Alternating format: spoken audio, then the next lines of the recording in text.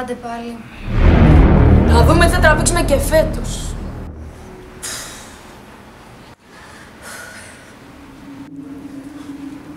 Εμένα τι με φωνάξατε;